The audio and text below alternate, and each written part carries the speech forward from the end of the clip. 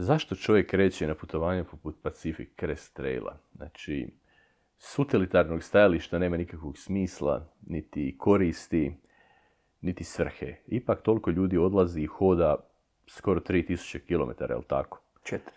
Skoro 4000 km. Četiri tristo.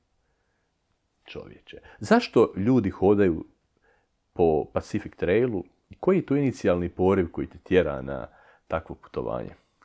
Pa ja bih se htio samo osvrnuti na ovo utilitarne razloge. Govorim ono, znaš, u smislu, hoćeš da radi pare, nećeš, hoćeš li... Da, da, sve mi je jasno.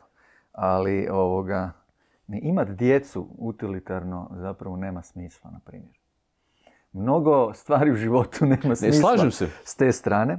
I, ali ja imam nekakav uvrnut pogled na vrijednosti, malo uh, onako iskrivljeno. E, meni novac je onako jedna sekundarna stvar. Volim imat novac, nije da ne Svi moramo imati za život neki Normalno, i da, da bi otišao na to putovanje moraš to platiti kartu i hranu i sve živo. No međutim, eh, meni je ipak broj jedan u životu iskustvo. To je meni neka moneta kojom ja gledam svoj život. Znači, koliko sam stekao iskustva.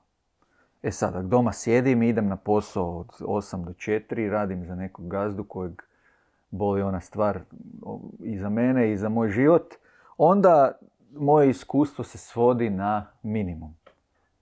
Imam možda, ako sam sretan, 30 dana godišnjeg odmora koji moram rasporediti na eh, x ovih malih eh, ono, Ljetni pa jesenski. ljetni, jesenski, ovakav, nakav, zimski. E, I onda, znaš, umoran si, onda odeš na taj godišnji, praktički na plaži ovoga, se odmarati, jer ne da ti se ništa raditi, jer ono, Samo si umoran. samo si umoran, daj mi odmor, pusti me na miru. Znači, to nije iskustvo, to je, to je nešto posve drugačije. A meni iskustvo e, predstavlja život. Iskustvo je život. Ako nemam iskustva, ako ne širim svoje iskustvo, ja po mom nekakvom shvaćanju ne živim život, nego životarim. Znaš šta mi je dakle, Krešimir Mišak rekao kad je bio vrijeme, ne? ovdje u podcastu? Da čovjek u životu ima samo doživljaj ili ti iskustvo. Da, pa to je to. To je to. Evo ja sad pogledam svoje slike iz 2016. kad sam bio na Pacific Crest Trailu i to, to me iskustvo toliko obogatilo i kad pogledam samo te slike onak, a, onak, ovo je bio dobar dan, ne, onak, sjećam se, sjećam se ovog mjesta. Moram se vratiti nekad tamo. E, to su, to su stvari koje te oplemenjuju, obogaćuju i koje te mijenjaju na bolje. E, Barem većinu. Neke ljude ništa ne može promijeniti. Ali e, to je jedan razlog. Drugi razlog zašto odlazim je evo uzmimo, uzeo jedan primjer.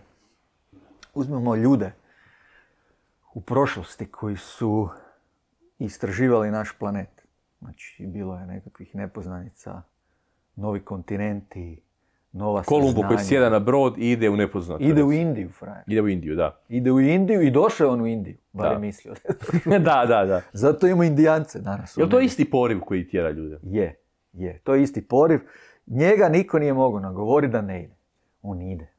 Kraljica mu daje e, pare, zlato, šta god. Tri broda i nešto... Tri broda, ljudi. hrana, ljudi, peglaj. Ja mislim da je on bio uzbuđen preko svih granica. On ide u Indiju, ide u novi put, znači nešto novo. Ljudi idu u svemir. Ko pametan ide oko, oko mjeseca, na mjesec, vrati se ovoga, u onu kapsulu i još plutaju tam i vra- u E, bestežinskom da ti neko stanju. ponudi, e, ovaj, sorry na prekidanju, da ti kaže, ajde ideš na mjesec ili ideš na Mars, budi prvi čovjek na Marsu. Pa s obzirom da se s Marsa vjerojatno neće taj prvi vratit, ne bi pristao. Da, ok, ali uz pretpostavku kao što su išli na mjesec, pa je bila vjerojatna pretpostavka da se hoće vratiti. Da kažeš ideš sljedeći na mjesec. Šta Elon Musk da mi pristupi? Na primjer, da ti Elon Musk kaže, evo idemo opet na mjesec, nakon 50 godina, ovaj, Bi, išao bi, da. bi išao bi. Išao bi. Ako je na Mars, bi morao razmisliti. Da, ok, to je još uvijek nije baš e, to putovanje, nismo na toj tehničkoj razini da postoji vjerojatnost da će čovjek vratiti to. Ali imao bi jedan uvjet. Ako bi išao na mjesec. Koji? Da u svom skafanderu, odnosno u kapsuli kojom idemo, da postoji em, otrov za, Ne daj Bože, jel? ne daj Bože, da. To je ono, u Jer smislu ako sve rikne i onda ostanem gore ležati na površini. Da, i sad ću ja umirat od pite Boga čega pet dana, onak no thanks. Tako da, čisto da imam B To je- opciju, ne. Razumno očekivanje. Da, samo mi to traži. Da.